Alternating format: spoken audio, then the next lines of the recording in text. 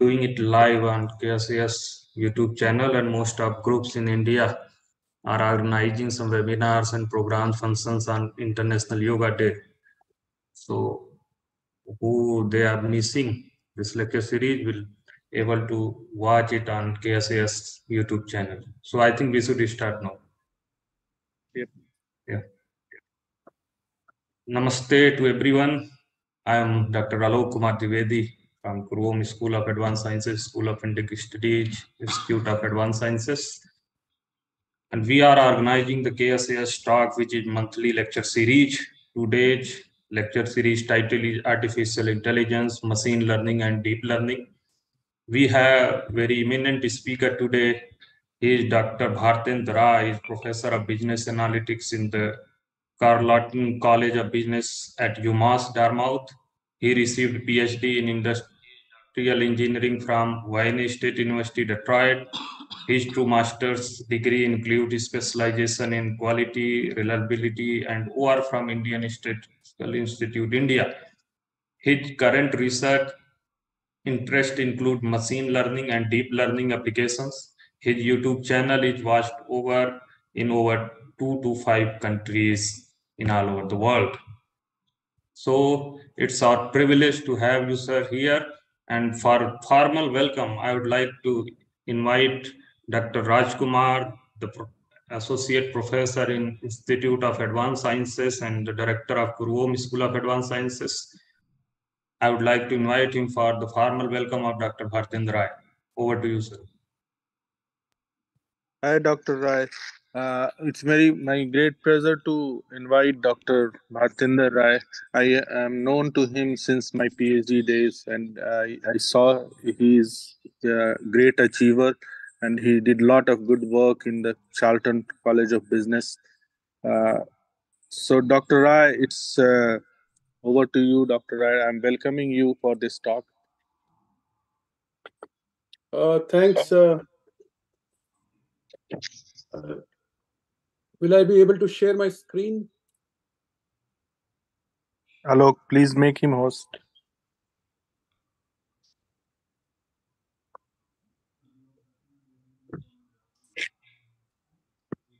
So So, you are uh, able, you are able to say. Okay. And uh, should I assume it's the talk is for about 40 minutes? 45? Yeah, yeah, Something like 35 to 40 minutes, and then five to 10 minutes question answer. Okay, thanks very much. Uh, thanks for the invitation and uh, opportunity to give a talk. So the topic, as you know, is AI, machine learning, and deep learning applications and uh, opportunities based on my experience. My name is Bharatendra Rai from Charlton College of Business, University of Massachusetts, Dartmouth. Uh, same place where Dr. Balram Singh also like he was in the I think chemistry department. So I've been uh, with Charlton College of Business uh, since 2006. So it has been a lot of years. And uh, before that, I used to work at Ford Motor Company.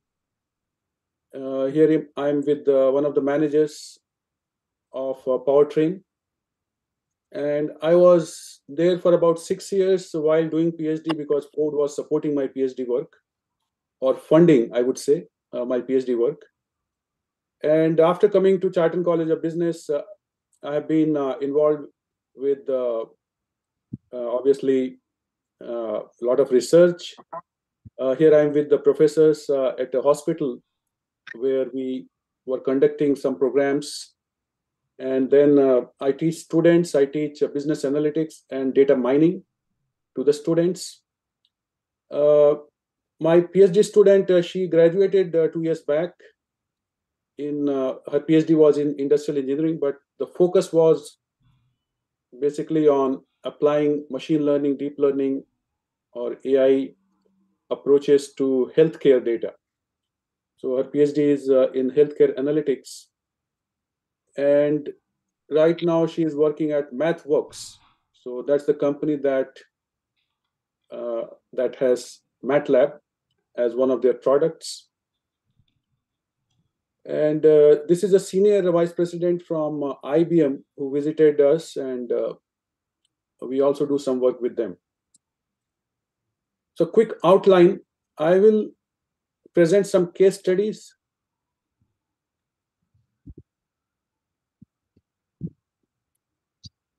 And talk about uh, big data because all these methods require a lot of data. And then some examples from business and anybody interested in like what kind of jobs exist nowadays. So very briefly, we'll go over that. So this is a very popular Venn diagram or where you see AI as the bigger circle. I'm sure like uh, most of you must have seen this. Almost every every book on analytics or AI or machine learning has this diagram. And uh, AI basically tries to uh, mimic humans. So we try to create methods that try to mimic uh, how human beings work, how they answer questions. Uh, so various aspects of how humans work. And within that, there is a subcategory which is a machine learning, where we apply a lot of machine learning methods. There are a lot of uh, popular methods there. And within that, uh, there is a smaller branch uh, which focuses on deep learning. So, uh, deep learning mainly makes use of deep neural networks. By deep, it means like a lot of layers within the neural networks, and it has a lot of parameters. There is a uh, there is a case study that was done i think in 2012 long back uh, more than 10 years back. And what they reported that time facebook was very hot. Uh, still a lot of people use it. So somebody collected data and what they found was if you have data on 68 facebook likes you can predict skin color of a person with 95% accuracy.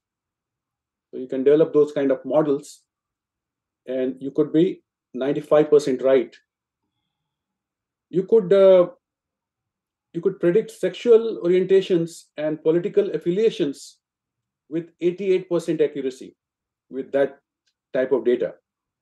If you have data on 10 likes, you can evaluate person better than interviewing coworker so nowadays, uh, many people actually, when they are hiring uh, or screening candidates, sometimes they go on social media and look at various aspects of what kind of post uh, these people make and things like that. So it can uh, it can evaluate person better than interviewing a coworker. 70 likes. With that data, you can outperform friends who thought they knew about him or her. With 150 likes, you can evaluate a person better than their parents. With 300 likes, you can uncover things that their partner did not know, like uh, wife did not know something about husband, husband did not know something about wife. But with that kind of Facebook data, you can predict that with great accuracy. Uh, more than 300 likes if you have that kind of data you can even outperform person person themselves what they know about them. So how i will react in certain situation when i see an ad or when i drive i'm driving like looking at something how i will react to something uh, that algorithm can even uh, predict better than myself so with these uh, smartphones obviously smartphones, computers, all the technology. So it has created like a, a sort of questionnaire every time like we are doing anything on that, that data gets collected and you may know it, you may not know it. Nobody reads uh, when you accept uh, some terms and conditions. So it uh, basically generates lots of data. If you look at uh, Google Trends, that's a website one of the websites from Google where you can see how the how some terms are trending based on searches that people make. So you can see that uh, the blue one is machine learning and red one is deep learning. So it has been towards the peak. So 100, 100 means like the maximum number of searches and then related to that, how many searches people have been doing. Obviously, you'll see some dips, for example, uh, around New Year. So, you know, like people are not searching on Google, they are like busy celebrating, uh, welcoming New Year. And similarly, some holidays, you'll see some dips there. And also where it is popular, almost like everywhere in the world. So whether it is machine learning or deep learning, uh, China actually is quite active. Uh, in fact, uh, I would say in AI, they have the lead over any other country in the world. So some uh, simple examples that anybody can understand. So this is a work uh, that I did uh, while I was doing PhD in industrial engineering at Wayne State University. So we had a lab, and in that lab, uh, we were trying to research few things. And one of the problems in manufacturing is there is a drill bit that is used for drilling holes, and it is used uh, in so many different uh, situations. In fact, 80% of the cutting operations involve some kind of drilling. And uh, if you think of like a big board on which thousands of holes are to be drilled, that board may be very expensive. It could be metallic or whatever it is made up of. And if uh, you have successfully drilled 900 holes, and next in the next one, if the drill bit breaks, the whole piece gets damaged. You cannot use it. So drill bit is actually inexpensive. It's very cheap, but the damage it can do is very big. So one of the problems, one of the solutions is after every uh, few holes people drill, you stop the machine, take out the drill bit, and find out like how much wear has taken taken place. So measure that wear, and if it is okay, put it back, and then keep running for a few more holes, and then again stop the machine, again take it out. But that solution is very intrusive because production managers uh, they will not like that kind of solution. Uh, they uh, they will suffer like big hits to productivity. So the idea of uh, this kind of research is to find a way where you can take actions in a non-intrusive way. You don't have to stop the process, and still you are able to predict that the drill bit is going to break, and then you replace before it breaks. So that's the idea behind uh, predicting drill bit breakage using degradation signals.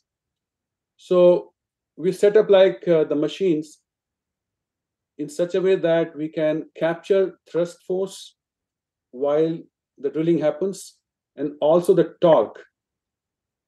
And uh, we had a mechanism by which we can like vary like how much data you want. Like within a second, you can get like 100 data points.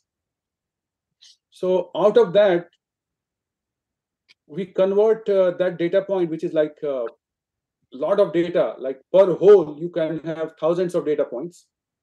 So we convert that into some features, like very simple, like what is the maximum value of the thrust force for that particular hole or that particular interval, what is the average variability, and so on. And same thing for torque. So we generated like 20 different uh, features out of it and then started applying some machine learning methods to see if we can predict it with greater accuracy. So if you look at like this is a simple decision tree and the variable that comes at the top is O. So O is coefficient of variation related to torque. So that's the variable that has maximum impact on drill bit breakage, followed by L, which is uh, maximum torque, and then Q. So most of the variables are related to torque. Obviously, we can make a make this tree deeper and figure out like which other variables are playing how much role. But if you look at the terminal nodes, the end end uh, box or the triangle, sorry, not the triangle, but the rectangle. So it has three numbers, which gives you uh, some kind of signal. So one of them is uh, one of them you can think of like green. So first one is green, and then yellow, and then red. So the way it was implemented was through like signals, although it may do a lot of machine learning models and then have a lot of data. But so somebody who is operating the machine, they need a very clear cut signal. So when they see a red light, that means stop the machine immediately, or probably even that can be automated. So when we reach uh, this terminal node or last node, you can see the first one, green probability is almost one. So this is a rounded number. It may not be exactly one, but it may be 0.999 something. So that means uh, there is no need to stop the machine. If uh, you are in this terminal node, just carry on. The, the danger of like a drill bit breaking and damaging the whole thing is very low. But if you look at uh, this terminal node, the highest probability is for red or the drill bit is about to break. So immediately machine should be stopped. So, so here you can see the orange at the middle is the highest one. So it may not like break immediately, but there is a danger. There is some percentage percentage chance. So it uh, one can decide based on the kind of uh, material being drilled. If it is uh, too expensive, you don't want to take any risk. You want to stop here and replace that inexpensive uh, drill bit. So this is one example of a machine learning method, which uh, usually like a very easy to understand and see visually like what's happening. Because most of the machine learning methods or deep learning method, one of the critique is that it is like a black box. Nobody knows what is going on. But here, at least visually, you can see. But we also know that it suffers uh, from uh, some problems uh, accuracy levels are not as great as you get with like uh, maybe random forest or some other methods. Uh, this is another application where we applied a machine learning method called random forest classification. And uh, this paper was published in one of the healthcare journals uh, in 2019, International Journal of Big Data and Analytics in Healthcare and uh, this was part of uh, my PhD students' uh, thesis. So the key thing is detection of freezing of gait in Parkinson disease. So Parkinson, Parkinson disease is a big problem, like in old age, and the freezing of gait means that somebody is walking and suddenly if that happens they may fall down they may know they, uh, before they realize uh, they may fall down and somebody who is like let's say 80 85 90 falling down can uh, can be very disastrous. The problem is that there's no medicine for this there's no cure. At least as of today uh, you cannot do anything about it. So the idea is idea of generating a model is to be able to make a prediction before that event happens so if you can monitor the patient's movements and if you can predict it even like uh, one or two seconds before, and there could be some buzzer or some some alert where that person is made to sit down and avoid a fall. So that is always good. So here we applied uh, a random forest, and uh, the way the data is collected uh, you have like we want to capture data on ankle acceleration. And within that there are three different uh, data points that it generates. And then uh, there is a sensor that is tied to upper leg or thigh to collect uh, three different data sets. And then at a trunk or like hips. And then you have like uh, three data points. So totally like uh, nine data points and the final response is whether freezing of gait occurred or it did not occur. And this is labeled by a specialist, like so they say whether it has it is there or not. So this is a typical uh, like assessment of a model. This is a this is called like confusion matrix, how confused the model is. And if actually it is one, like no freezing, and the predicted predict, predicted class or prediction is also one, that's a correct classification. So 11,924 instances of that. Similarly, if freezing of gait occurs, which is a class 2, and prediction also is 2, then that also is a correct prediction. So 796 occurrences of that. But there are some misclassifications also. 44 times actually freezing of gait happened, but this model did not predict correctly. So that's class one. So that is a misclassification. Similarly, 13 times, actually it was one, no freezing of gait, but the model, machine learning model says that actually there is a freezing of gait. So out of these two, definitely like this is uh, this is bad because you don't want your model to predict something and if that person has freezing of gait and falls down so that is more dangerous. But this is less dangerous. This is just uh, being like uh, more cautious. So one of these categories you can say like uh, crying wolf when it is not there. And then uh, a wolf is there and then you don't try that's obviously more dangerous so this is a, uh, another application. Uh, this is in healthcare. Another machine learning method.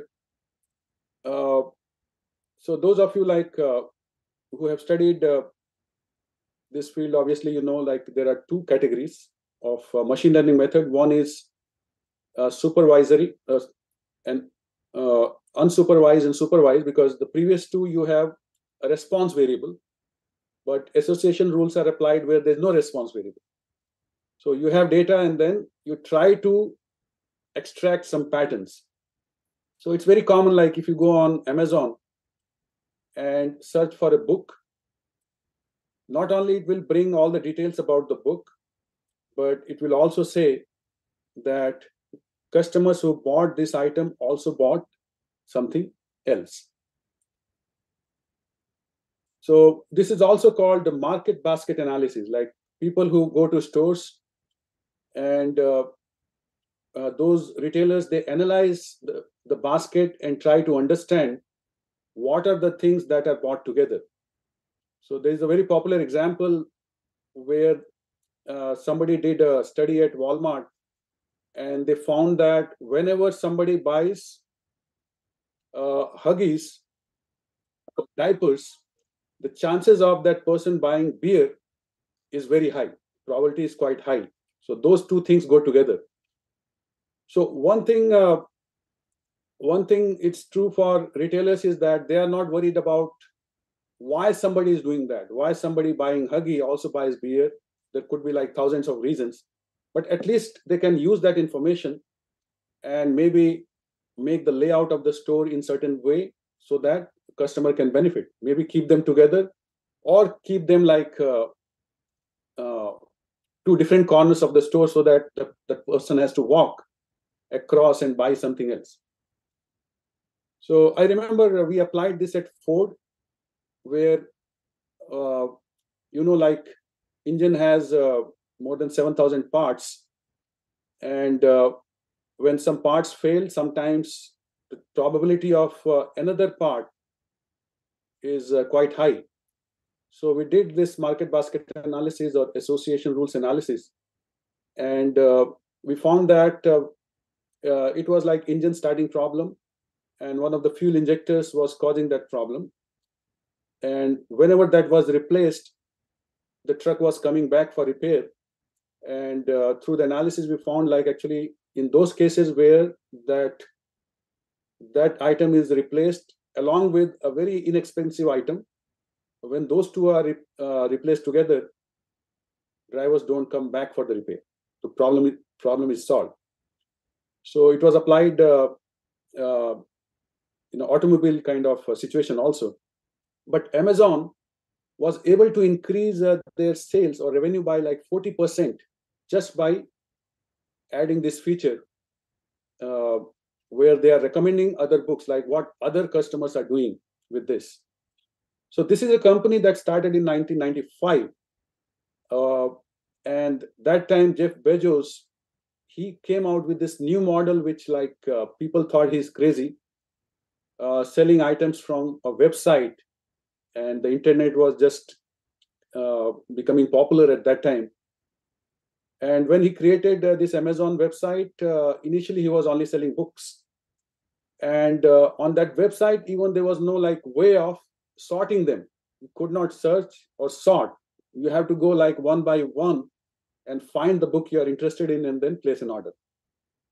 So obviously amazon has come a long way from 95 they made their first actually one penny per share first profit in 2001 and today is uh, i think uh, more than a trillion dollar market cap company and the amount of machine learning deep learning algorithms they employ to improve their website and uh, studying like uh, at any time a point in time they are doing thousands of testing on how the screen should look uh, what will be the colors the font size and many other things.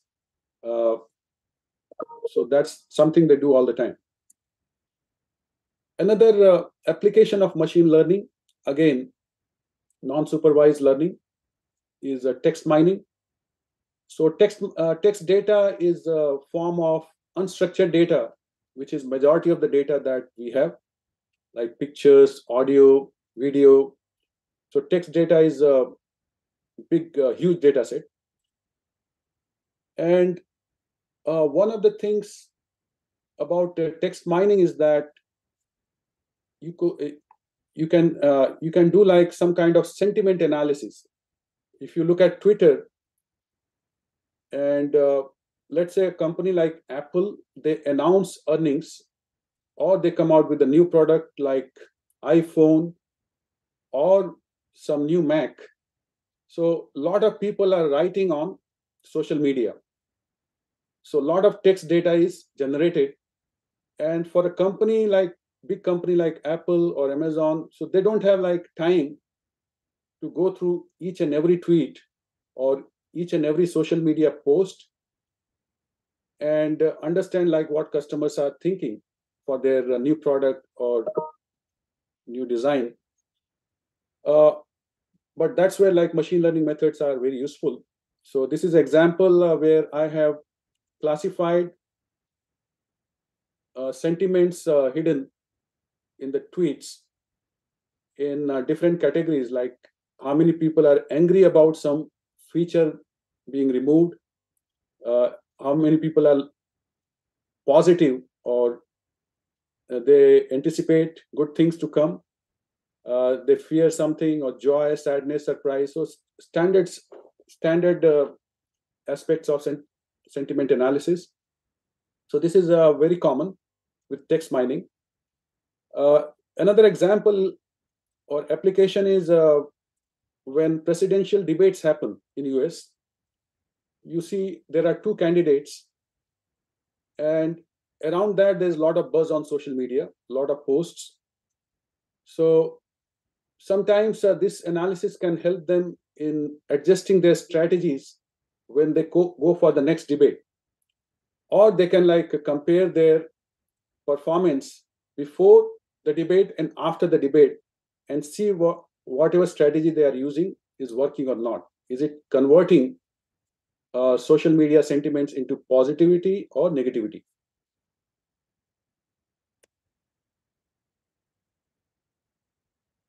uh, another example is uh, cluster analysis so I remember uh, uh, this is like about 10 years back. Uh, one of my colleagues, she's from China, and she came to my office and she said, We are working on a research. So, uh, a researcher in China, and uh, she has a lot of like smartphone uh, app related data that she's trying to analyze. And she wanted my help with applying like some machine learning method to that data because the data was quite big. But the problem was that uh, researcher in China, she did not understand uh, English. So she would send emails in Chinese. And my Chinese uh, colleague, so she will uh, she will convert that email into English and then send it to me. And then I will make some comments or give some suggestion. And then again, it will go to her. She will convert to Chinese and then it goes there. And so it was taking a lot of time. So I asked uh, my colleague, like, uh, why don't you ask her to send me some data so that I can analyze on my computer or laptop. And when I get some ideas, uh, concrete ideas, I can suggest this is what we can do instead of like exploring and it's taking a lot of time. So we came to know that the data was like uh, a huge data set, like I think 150 gigabytes or something. So obviously it could not be sent by via email. So I applied for a grant, uh, travel grant to China in the summer, and uh, I went to China. I stayed there for two weeks, and there were some students and that, that faculty researcher. So we worked together and completed the paper. So sometimes, like working with a lot of data, becomes uh, difficult. Uh, separate uh, if you're separated by distance and also like language barrier. So here, this is just one of the charts from that paper. It was about predicting users' app usage based on clustering analysis of smartphone data. And uh, this particular cluster diagram is for how often a smartphone user is playing game or using a game app. So we categorize like uh, different apps on the smartphone in different categories. So there are some game related apps, social med- media related apps, travel related apps, and so on. So this was related to games. And you could see that uh, there are some users who are uh, who have very low usage. They don't play that many games on smartphone. But uh, some people you can see this is like red, totally red. So almost like addict. And then also there are people who uh, switch from one, like you may find somebody who is here suddenly like uh, goes to cluster number two because of whatever maybe something special or maybe very busy time during their work. So this was a cluster analysis application that we did. Now coming to deep learning where we employ a lot of uh, uh, neural networks. So one of the popular methods is called autoencoders. And uh, the example that I have given here, so it takes the data and using auto encoders, uh, it can do certain things. So, uh, so this is from one of my books uh, uh, that I wrote uh, recently on deep learning. And the idea here is that these are digits, like if you are driving a car, for example, and uh, there are there are cameras that read your number plate and then you get billed for the toll whatever fee it is. But uh, there are days when it is uh, it's not very clear. It's uh, a lot of rain is there there may be hail maybe snow and the visibility quite could be very poor. So we took uh, some handwritten numbers and uh, inserted noise into it so that it doesn't look like seven like this one is with noise and this is uh, without noise. And then used uh, this uh, ai application of deep learning to remove that noise.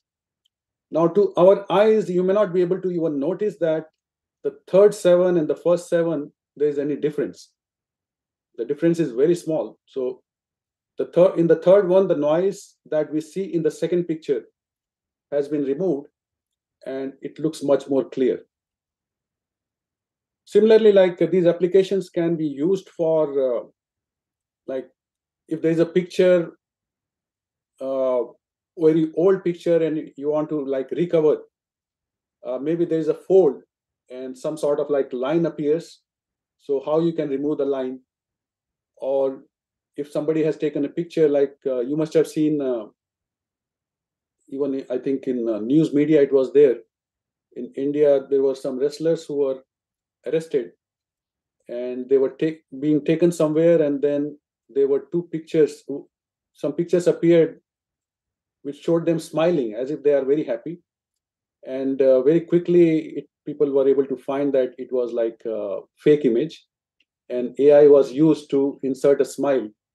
So these are the kind of methods uh, that actually if somebody's eyes are closed for example and the only picture you have is that how you can recover that like you can uh, use ai to open the eyes you can add a smile you can change few uh, features and make the person look better. So a lot of applications. So when we are working with like this kind of unstructured data like image data so uh, obviously these machine learning deep learning methods uh, although everybody knows that we use unstructured data there but they need the data input to be structured still. Uh, they don't straight away work with unstructured data. They need data to be first converted into some kind of rows and columns. So and uh, that's what like pre-processing is like where uh, people have to work on preparing the data before it can uh, generate models for prediction. So, for example, this uh, image of handwritten five, when it is converted based on the pixels and all that, uh, you see it looks like five. So zero is like where it is black, and the highest value is 255 where it is white, and rest of the numbers are in between. But even that looks somewhat like five after converting this unstructured image data to structured data. Another application is uh, language processing, natural language processing, uh, things like Chat GPT, uh, which uh, requires lots and lots of data. It is trained on huge amount of data. So, so this is a uh, this is a uh, this is from one of my researches, medical speech and response, response is common symptoms. And the method we use is LSTM. Uh, it's a deep learning network, a type of deep learning network uh, that helps, uh, especially in those situations where you are trying to figure out some meaning in data where the two words may be separated by a long distance. And some of the deep learning methods, they start to have difficulties, but LSTM uh, is able to retain even long-term relationships. So sentence one is like, I like to eat chocolates. So this like and chocolate, they are close to each other. But in the second sentence, like and chocolate is uh, separated by a big distance. And uh, many deep learning methods struggle there. But LSTM has become very popular when working with NLP, nat- natural language processing. And then we have a deep learning applications in fashion. Uh, obviously, if you have a system that can recognize and it could have a lot of applications, uh, you can choose something and then you can you don't have to go to a trial room and change your dress and then come and see how it looks. You can do it immediately. But you need a deep learning model to correctly classify those items. So we used uh, MNIST uh, fashion data, which is a very popular uh, with the deep learning community, machine learning community. It has uh, 60,000 images, and I have used 10,000 images for testing the model. So different kinds of items. Uh, so we label them as like zero, one up to nine, depending on whether it's a t-shirt or a coat or a shirt or a bag. And then uh, the gold standard for this kind of application is CNN, convolutional neural network, which again has uh, different layers. I have only shown like there's an input and then there are some layers, pooling layer, dropout layer, and etc. But the layers could be very, very deep. Uh, why we use this, I have done a very simple calculation just to highlight. So if you have a fully connected network where you have neurons and your image is 28 by 28, and we are not talking about color images, just black and white. So 28 by 28 by 1. So number of uh, input neurons will be 784, simply 28 by 28. And if you go to the first layer, where we do certain things to basically uh, develop the model, you end up with 21,600. And then that itself gives you more than 16 million plus neurons to work with. So your network becomes very, very big. But if you are using a convolutional network, because the way it is designed, you only end up with 320. So drastic reduction from something which is like 16 million plus to only 360. So obviously, like even with the, all the technology that we have today, uh, training models with a lot of neurons or a lot of parameters is a time consuming, consuming process.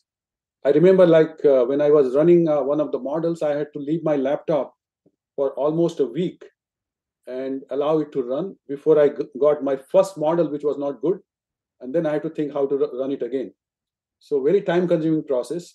So we, when you bring down the number of parameters, that will save a lot of time.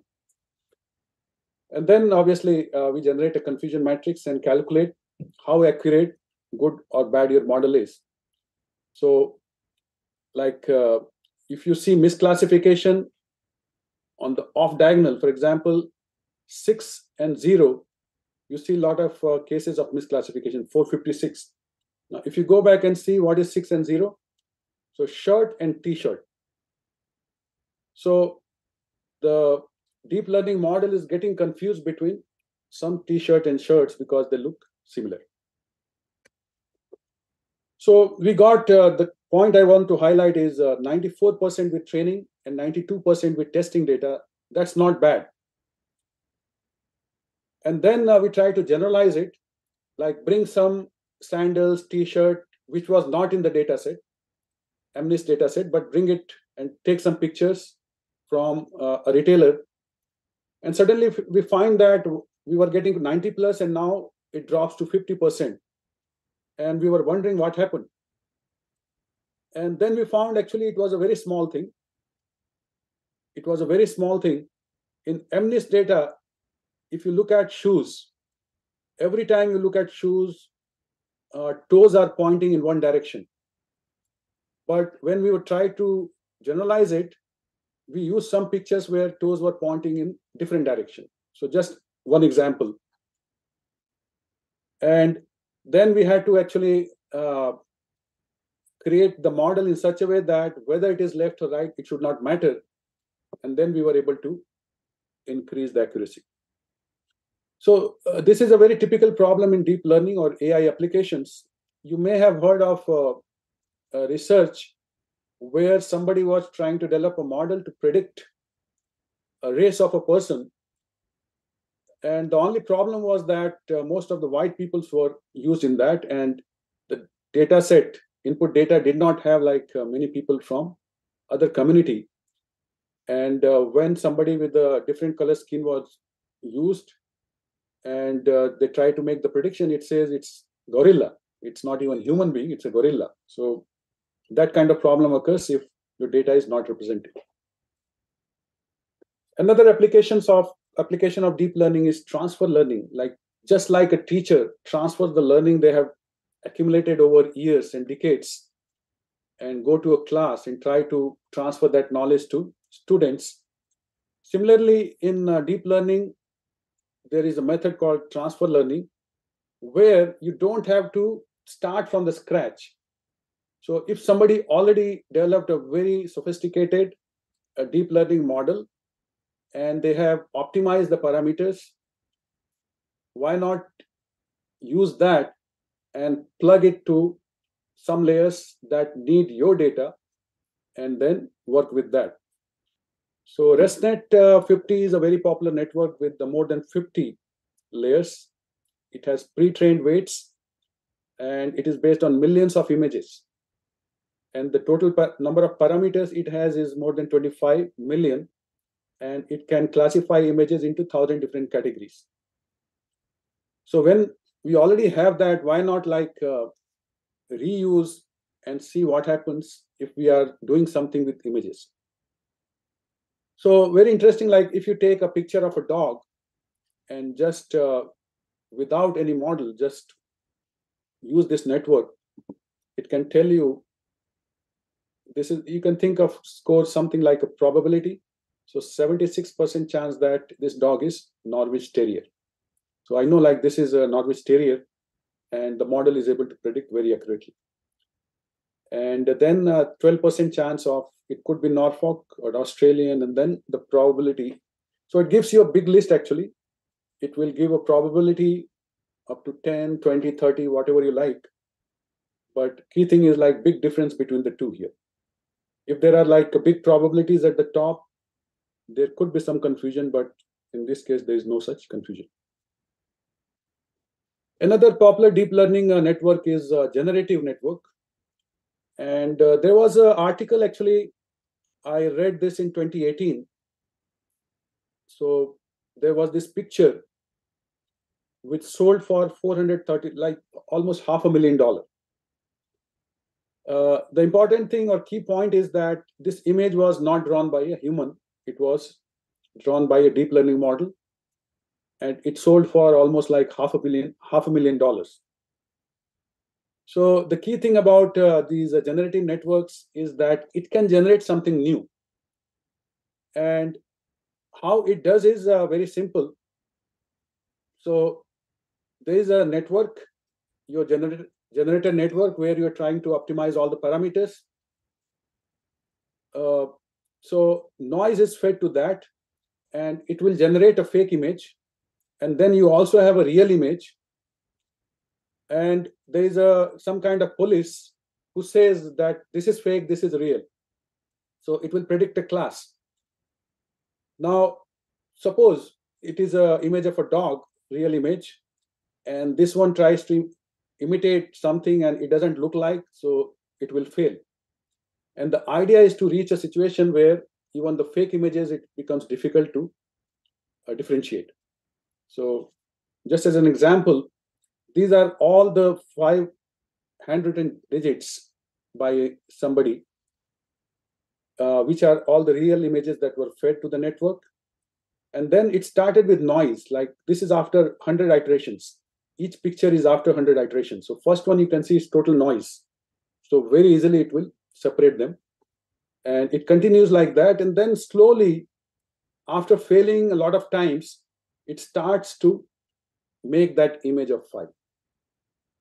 So some people would say like, uh, uh, if I put my name, in, let's say in Chat GPT, uh, tell me about uh, Bharatendra Rai, or tell me about this guy. And it says i don't know this person. But if you force it will generate something which may look real but actually it is not real. I know that this is not me. So uh, some some people wonder why it does, doesn't give you correct answer. It is not designed for that. It always uh, it, it is designed for like fake or creating something that doesn't exist. Whether it is image uh, with imagenet kind of uh, data sets or chat gpt where it uses a lot of like text data.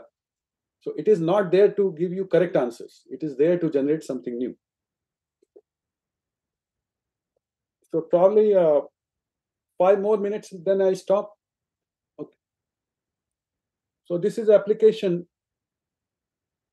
uh, real applications in self-driving. Uh, i think we all know uh, elon musk of tesla he wants to convert all the cars that can drive themselves. And uh, the plan is like the future design will not have a steering wheel actually. Uh, you sit in a car and just go. And the reason behind or application case behind that is, uh, as per Elon Musk, uh, we don't use our cars much.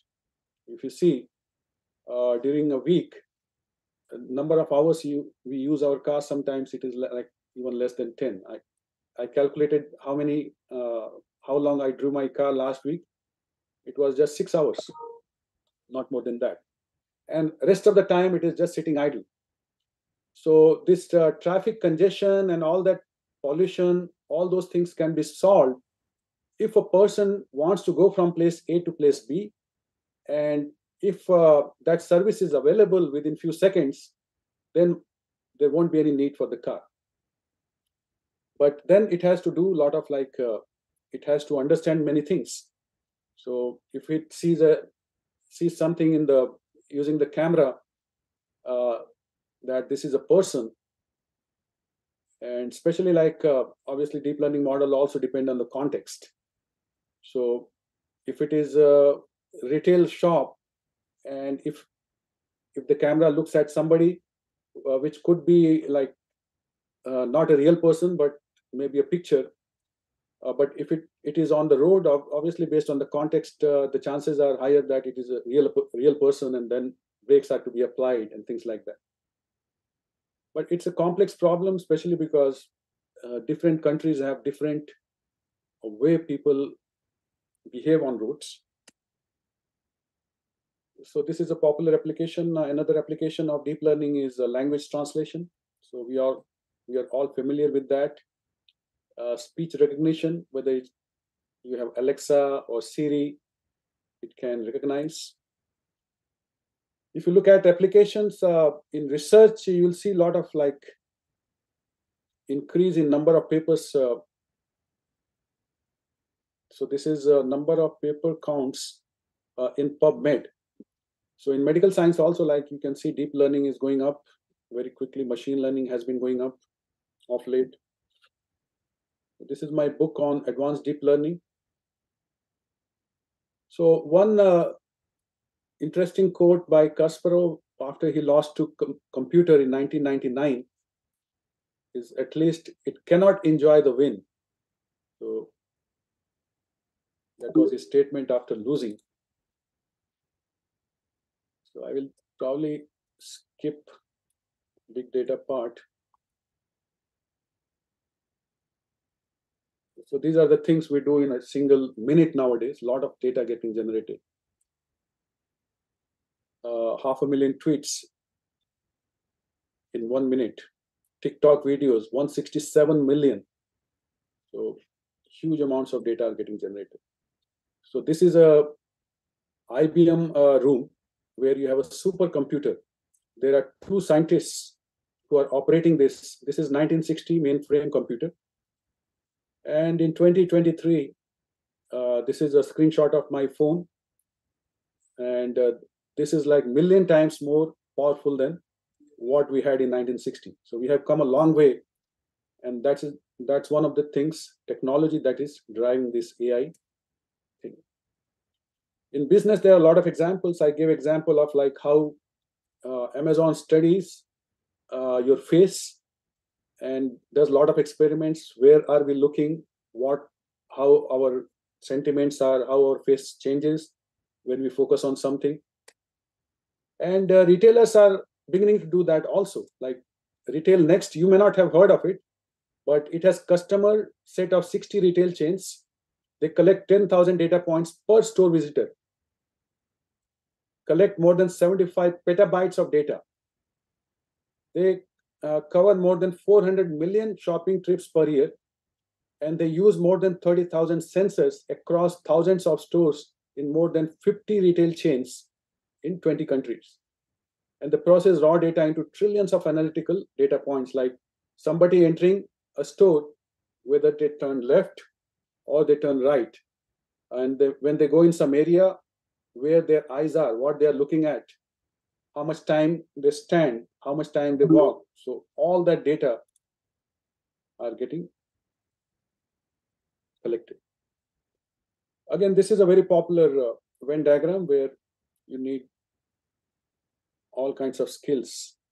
So just computer skill, hacking skill uh, is basically computer skills is not enough nowadays.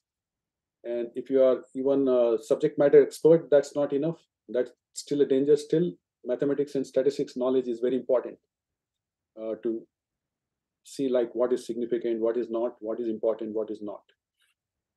I have a YouTube channel and uh, I have also like made a list of top 10 must know machine learning methods. So anybody who is like starting the journey, what are the methods uh, that that is like that should be on their list. So if you are interested, you can visit that. Uh, my YouTube is at BK Rai. So with that, I'm going to stop, and uh, I will. I'd like to thank everyone for very patient listening. Let me know if you have any questions. Okay. Uh, yeah, doctor, I have questions, two questions. So one one is that uh, I use this machine learning method to predict uh, a structure of protein. So I published that paper in uh, ACS General. Uh, in that, what I use that I uh, collected some biochemical data using small angle X-ray scattering and then I put that data. Uh, uh, in fact, I, I um, uh, did uh, some molecular dynamics simulation first, and then I tried to compare the biochemical data, and I tried to fit that biochemical data based on uh, the molecular dynamics simulation. And in that uh, uh, after getting the sum structure, I put machine learning method. I use machine learning method in which I put some kind of weightage to different kinds of structures, and I did several iterations. And after that, I got uh, very interesting data. Normally, people thinks that the protein structure is very constant or single structure, but when I did that, then I found that uh, uh, it's not a single structure. It's a co- uh, combination of four or five different structure at the uh, low energy level. So um, I, I was wondering that uh, there there are some AI based program uh, in which we can predict the protein structures. Uh, uh, so those program are mainly based on uh, only um, uh, uh, only just a machine learning method or they are uh, based on combination of machine learning as well as the biochemical data do you do you know that uh, means can you please, please comment on that Yeah, let me. Uh, there's a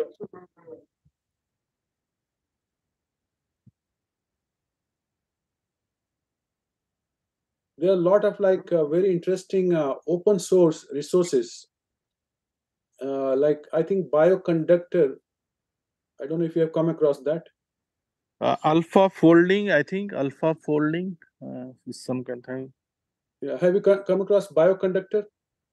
no It's a very uh, very well known, I think, among uh, the community.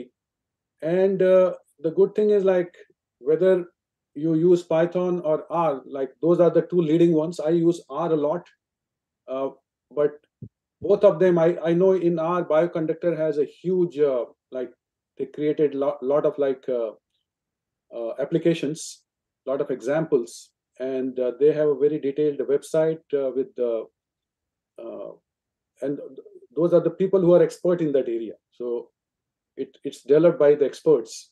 So i'm sure like if you visit that you will you'll get some uh, good information there. Okay.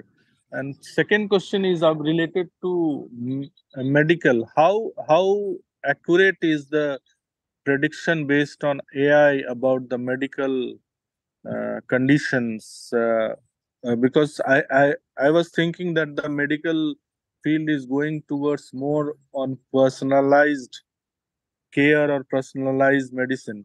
So in that case, AI would be helpful. Uh, how it will be helpful uh, in predicting uh, personal care or personal medicine or personal treatment. yeah uh, actually i attended a conference uh, i'm forgetting the name of the company it's actually called the google of uh, healthcare and what they do is uh, they have like uh, created a repository of like huge database of all the medical or healthcare related literature. And uh, uh, there one is like somebody can search very quickly within that and get relevant information quickly. But going a step ahead like uh, let's say a doctor is working on something important and they have a very very specific case and they put in some information just like what you do in chat gpt uh, put a prompt uh, but that prompt have, has to be obviously accurate. Uh, th- there are now uh, chat gpt is not very old but i see like uh, uh, people from stanford and others like they are now teaching a course on prompt design how to design a prompt. So uh, but it's very valid that uh, you have to really be very careful like what prompt you are giving otherwise you can waste a lot of time. But with the proper prompt you can get like good quality information uh, because it has uh, the key thing is it has a repository of like uh, all the knowledge that has been like generated uh, in uh, decades and maybe sometimes centuries. So just like when there is a problem we go to a friend and try to see what you did or another friend or take some other opinion. But now with on a fingertip like people especially like somebody expert can quickly have that access. So it can help a lot in that sense. Uh, yeah but i i think uh, uh, human human body is very complex means trillions of cells and trillions of uh, uh, reactions uh, in that. And then every cells is behaving differently and they are in different phases not not on a, on on one single phase i remember that there is 2015 uh, kobe research institute in japan they use the most powerful supercomputer to simulate the one second of brain activity. And it took uh, uh, um, uh, they, they generated about 15 petabytes of data uh, by just doing one uh, second data and that took almost 30 minutes to create one second of data Mhm. sorry 30 hours to create one second of data so that's that's the huge thing Yeah, I think uh, you're right. Uh, like the way we look at an image and we can say this is cat, this is dog, or uh, uh, the models uh, they need uh, sometimes uh, they uh, misclassify also. So we are not at a stage where uh, we can get rid of doctors. I would say doctors are still important and they are needed. So, uh, but we are as we are at a stage where uh, they can get that help quick or information, getting the correct information quickly, which is uh, in many cases like could be a lifesaver. Uh, so at least we are at that stage. We are not at a stage where we can do away with the doctor and then the AI, uh, a robot comes to the room and uh, takes over the patient. So we are not still uh, at that stage. and how how uh, accurate uh, ai is now on predicting the uh, age based on face Yeah, I think uh, if you look at Facebook or Google, uh, they are pretty close actually. Like they are able to bring uh, two pictures like that you have not classified yet or named yet, and one may be from your childhood, one may be from your current age, and it will ask you a question: Are the these same people? Sometimes it may make a mistake that it brings your picture and your brother's old picture and asks whether these are same people or not. But at least it is asking uh, that means uh, it, it has some doubt but uh, when you say yes or no very soon it will start to generate like uh, without you telling uh, it will it will be able to tell you like almost like accurately. But uh, face detection is very very accurate. I would say like uh, look at iphone. Uh, you cannot open iphone with the picture or somebody else. Uh, you need you yeah but but uh, face detection is okay but the face detec- detection with the age because we were trying to do some experiment to uh, uh, detect the age of the person based on the wrinkles. And uh, as uh, it its accuracy starts uh, better when we around 30 to 40, 20 to 40 years the accuracy is better and when we go on uh, means when we are getting older then the accuracy is reducing in that Yeah, I think uh, you're right. That's a difficult question, uh, difficult problem to solve. I think even for AI, because like somebody who has a black hair, whether it is dye or not, first it has to detect that, whether it is a real color or uh, artificial color. So yeah uh, wrinkle, especially. So those things are definitely important. okay thank you thank you Any other who questions? Uh, yes, yes, uh, uh, thanks, uh, Dr. Rai, for the nice talk. I learned a lot. So uh, nowadays, uh, people raising concern about the use of AI regarding the risk factor. So what are the risk factor using AI? Will AI go, going to rule on human in the future? I think that that's a debate uh, people are actually beginning to have, and there are very interesting books now uh, on singularity where like it takes over the humans and uh, starts to do things uh, that we never planned to do. Uh, but that uh, risk is there. Like I always give example in my class that eh, uh, that risk is with every technology, not just AI. Look at like technology like knife. So uh, people made knife to cut vegetables and fruits, but if somebody uh, misuses it to kill somebody, you cannot blame the knife that it is bad. So AI also like uh, uh, can do both things, like self-driving cars. Who knows? Somebody misuses it and programs it as a some kind of killer of uh, it gives a picture and it goes and kills somebody. So uh, who knows like uh, how people are going to use that. But definitely uh, it has risk. Uh, i remember example where uh, us was like about to press the nu- uh, nuclear button uh, because they saw like uh, some missiles coming from russia towards us and uh, their model predicted that uh, this is coming. And uh, then somebody realized that uh, it is not really a missile. It's because of the lights in certain way. It it seemed like a missile. So it was actually a misclassification by the model that it was not a missile but the lights uh, like working in some way and it looked like a missile. So who knows like uh, if that person did not intervene there could have been a nuclear disaster so if if it is left to like uh, AI, uh, that can happen because we are not at a stage where they can make sometimes they can make a mistake. But uh, some people predict like by 2040 maybe in our lifetime singularity will be there. Who knows? Uh, i don't know if you watch uh, there is a on netflix there is a series black mirror. Some some of you might have seen that. So uh, it it highlights a lot of dangers of ai things uh, things that can go wrong so Like interesting. Terminator, what's that like Terminator.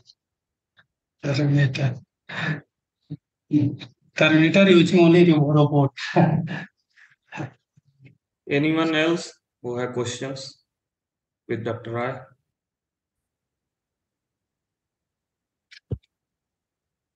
Another question is that, as you know, our uh, in, basically in human genome have only four letters, A, T, and GC, and there are multiple combination. So can we use AI to predict the the future human by using the genomic data? And for that, how much data we need? How much human genome sequence we need? Do we need? Yeah, actually, uh, I have not. Uh, uh, I have done some very basic analysis at this stage. Applied like uh, methods like principal component analysis for analyzing uh, genome data, uh, but uh, I have not been at that stage where I can say like specifically like how much data. But one thing is true, like it depends on uh, the model you are using. If you are using like deep learning methods, uh, it uh, definitely requires lots and lots of data uh, you cannot work with small data when you are using like deep learning methods. And uh, but in deep learning, there is also a way to actually uh, that that simple example I was giving uh, of uh, toes pointing in one direction, uh, but in the deep learning itself, there are methods that can actually generate more data based on the basic data and provide like a lot of different alternations or simulated kind of data and artificially increase the data size because you need a lot of data if you are applying deep learning. Thank you. Okay. Dr. Roy, I am Dr. Alok Divedi. I have my own query with you. You just started uh, your lecture from social media accounts and all. I today in afternoon in India, I followed you on Twitter account and saw your first retweet, the latest retweet. Uh, मैं भारत की आवाज के लिए लड़ रहा हूँ I think you have just remembered. Uh, India is the land of civilization, culture, and values. How AI will deal it, and how this India in uh, with having civilization culture and values will deal with ai Bharat की आवाज़ जीवित रहे सुरक्षित रहे। आप इसमें AI की कैसी भूमिका देखते हैं? या so I think one thing that is likely to come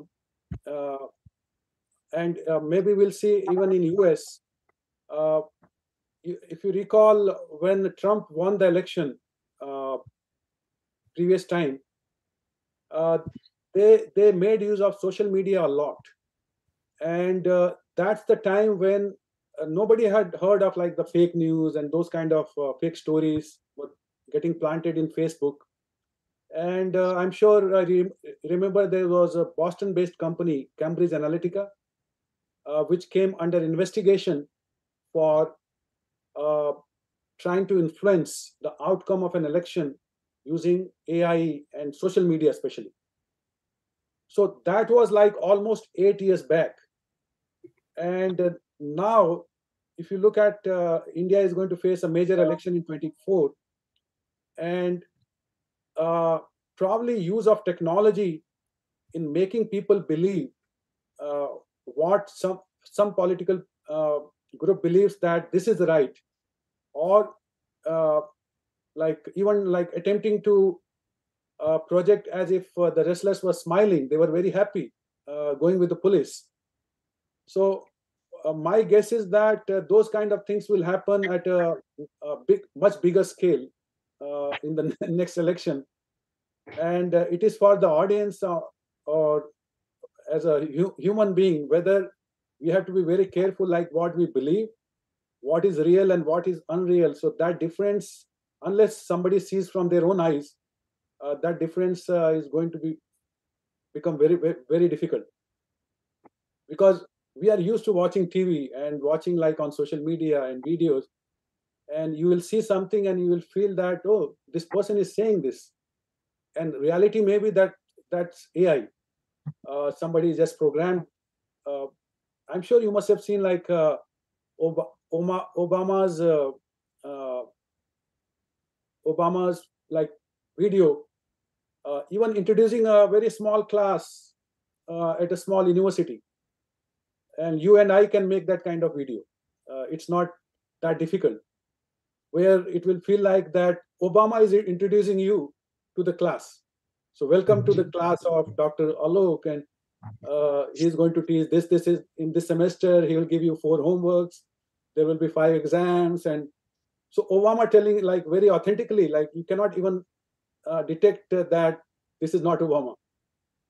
So I think that's going to be a big challenge and uh, the problem the biggest problem i think uh, many conferences they highlight is uh, where ai is and where the government is with the regulations the gap is very very huge and most of the times uh, people there don't even understand where we are heading so a uh, lot of uh, lot of things are going to happen i think one has to be really careful. I think I will leave at that. Thank you thank you sir लेकिन अभी इस बात को और आगे बढ़ाना है तो मैं पर्सनली आपसे मैं इस पे डिस्कस करूंगा अमित सर कुछ कहना चाह रहे हैं हमारे पैनल में है नहीं मैंने तो ऐसे पहले ही पूछ लिया है। अ, मैं शायद डॉक्टर राय ने उत्तर दे भी दिया कि भाई उसमें रैंडमनेस कैसे आती है? कि भाई या तो हम कोई सीड जनरेट कर रहे हैं उससे मतलब रैंडम सीड जनरेट को जनरेटर बोलते हैं। तो मैं उन्होंने जवाब दे दिया तो ये सब भाई मिलिट्री टेक्नोलॉजी का एप्लीकेशन है। अब however you may slice it और dice it but that's what it is भाई मिलिट्री में काम है तो उसका एक छोटा हिस्सा एआई में हम लोगों को दिखाया जा रहा है बस मैं ये बोलना चाह रहा था मेरा काम हो गया आपने बहुत बढ़िया लेक्चर दिया और कई चीज़ें मुझे नहीं पता चली बस ये बोलना चाहता हूँ धन्यवाद Thank you. Thank you. Thank you very much, Dr. Bhartendra and all the audience who had joined here. और पुनः के एस एस टॉक पर एक नए व्याख्यान माला के साथ हम लोग उपस्थित होंगे अगले महीने और उसकी सूचना आपको ईमेल इत्यादि माध्यमों से दे दी जाएगी। डॉक्टर भारतेंद्र राय को पूर्वोम school of advance sciences school of Indic studies institute of advance sciences की तरफ़ से बहुत बहुत धन्यवाद बहुत बहुत आभार आपका। ये वार्ता और जो एक प्रश्न है, जो भारत की संस्कृति या किसी भी देश की संस्कृति, सभ्यता, मानवीय मूल्यों को के साथ को कितने अस्थायी रूप से बदलने की आवश्यकता है और एआई के युग में कितनी तीव्रता के साथ ये बदल रहा है। ये बीच का जो अंतर्द्वंद है, इस अंतर्द्वंद के साथ जो समस्याएँ हमारे सामने आएँगी, उन समस्याओं के समाधान हेतु डॉक्टर भारतेंद्र राय सरीखे विद्वान हमारे बीच में उपस्थित होंगे और उन विद्वानों के माध्यम से दी गई जो हमारे समाधान है, उसी को समाज में संप्रेषित कर हम इस समस्याओं का समाधान पा सकते हैं और एक सुस्थिर समाज की स्थापना और उस समाज को आगे गतिशील रखना जो कुरहोम school of advance sciences institute of advance sciences school of Indic studies का सम्मिलित प्रयास है ऐसी व्यवस्था बन सके। आप सबका बहुत बहुत आभार बहुत बहुत धन्यवाद thank you thank you very much thank you thank you thank you thank you so Thank